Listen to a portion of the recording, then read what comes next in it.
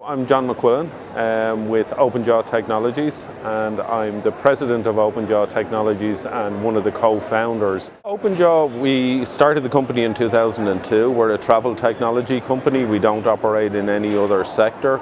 Um, we provide a, range of products to a broad range of uh, travel companies. So anything from airlines, online travel agencies, we have loyalty customers, um, so a whole, a whole broad range. One of the, the, the, big areas that we've focused on is the area of T-retailing. And by T-retailing, what we're trying to do is we're trying to apply the principles that we see in online retailing in general to the travel sector.